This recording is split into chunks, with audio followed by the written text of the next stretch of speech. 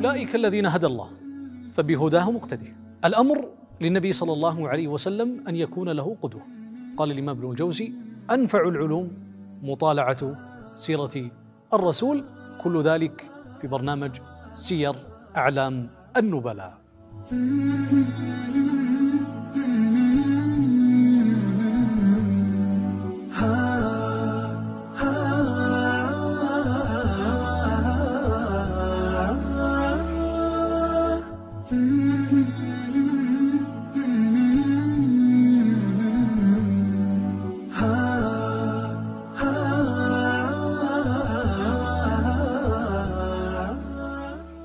بسم الله الرحمن الرحيم. الحمد لله رب العالمين.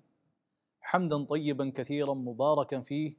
ملء السماء وملء الأرض وملء ما شئت من شيء بعد.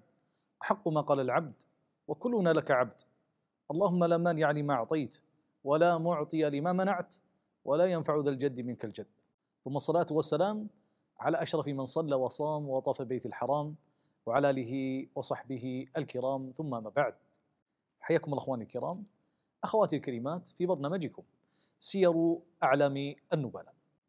نتكلم فيما ذكر الإمام شمس الدين محمد بن أحمد الذهبي بجملة من طبقات النجباء الأطهار والمتقين الأبرار من صحابة النبي صلى الله عليه وسلم حيث جمع مؤلفا مباركا جاوز الثلاثين مجلدا فيما كان فيه من الأمور المباركة وما كان من عطائهم وبذلهم وسخائهم لما كان من باب الخير العظيم.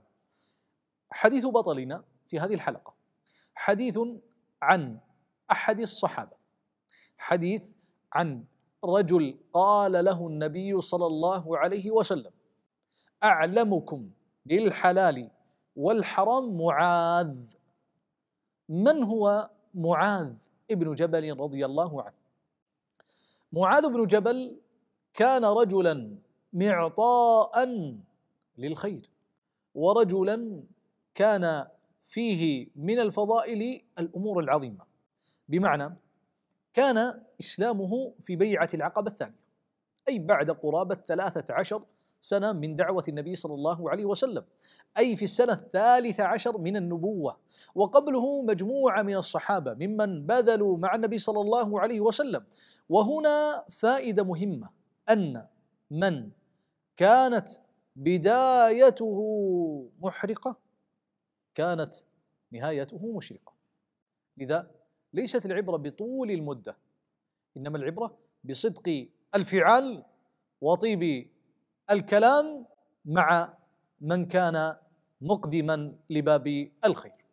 هذا الأمر يولد سؤالا طبيعيا وأمرا مهما على كل إنسان يقرأ سير الأبرار. يا ترى ما هو مقصود القراءة منه؟ المقصود الأول التشبه.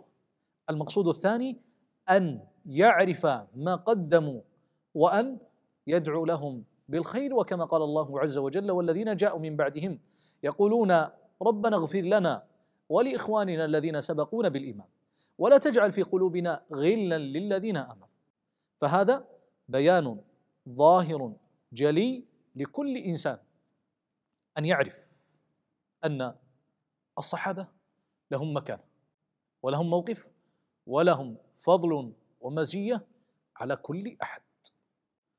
النبي صلى الله عليه وسلم أرسل رسول وأول سفير بالإسلام داعي إلى الله جل وعلا. أرسله إلى المدينة إلى يثرب قبل أن يهاجر رسول الله صلى الله عليه وسلم إليها. فلما وصل مصعب وكان يقرأ على الناس القرآن وكان يعلمهم وكان فيه الموقف العظيم. هنا التقى معاذ بمصعب. ولما سمع القرآن الذي هو أعجب ما في القرآن سطوته على القلوب بلا استئذان. شهد أن لا إله إلا الله وأن محمدا رسول الله. معاذ كان فيه من الفضائل والنجابة. كان أن ألهمه الله عز وجل مواهب. وهنا فائدة أن الإنسان إذا كان له موهبة فليستغلها فإن مواهب هي أعطيات وهبات من رب البريات. فلا بد أن تستغل هذه الموهبة وأن بعض الناس يوجهك. فانظر إلى النبي صلى الله عليه وسلم كيف جعل له عليه الصلاة والسلام هذه المرتبة العالية.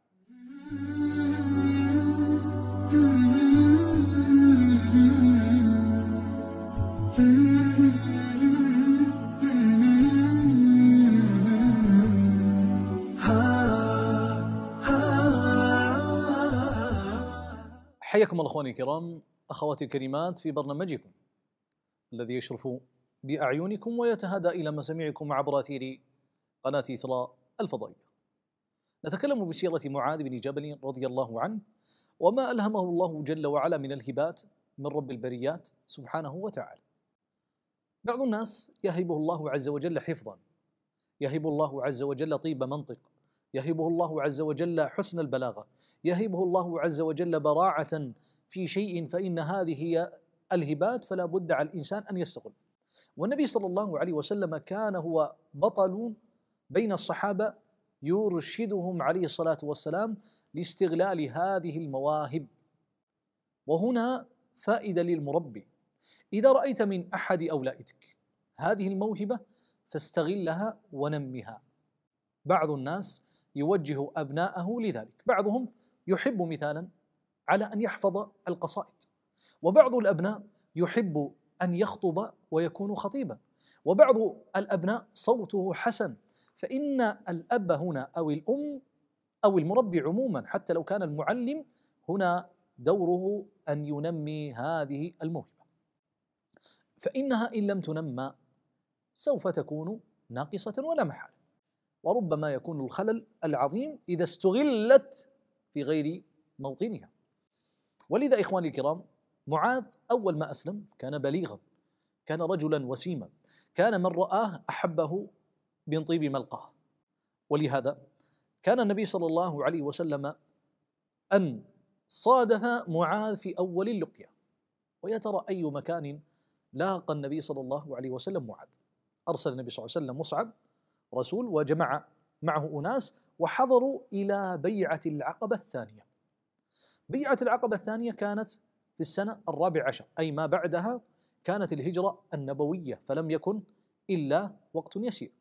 وكان مجموع من الصحابة وكانوا أعدادا وجعل النبي صلى الله عليه وسلم اثنا عشر نقيبا منهم يبايعون النبي صلى الله عليه وسلم.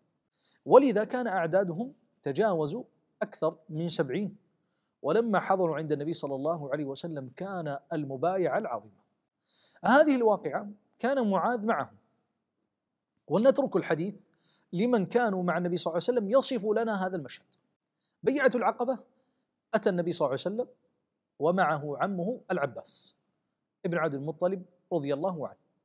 فلما حضر النبي صلى الله عليه وسلم تكلم عمه أن الرجل محفوظ في مكة وأن الرجل له المكانة وأنه لا يخرج من مكة إلا وأنتم الذين طلبتم نصرة النبي صلى الله عليه وسلم.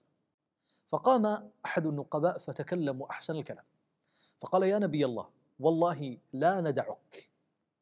والله يا نبي الله وبدأ يذكر نصرة الإسلام.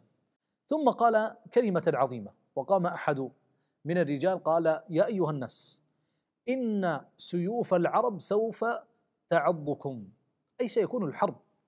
فقام أحد قال والله يا رسول الله لندافعن عنك كما ندافع عن أزرتنا.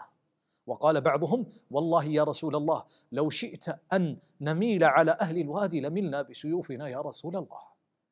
هذا كان عطاء الصحابة في بيعة العقبة. فقال النبي صلى الله عليه وسلم لبعضهم وبدأت المبايعة ثم لمست يد معاذ يد رسول الله صلى الله عليه وسلم وكانت المبايعة العظيمة.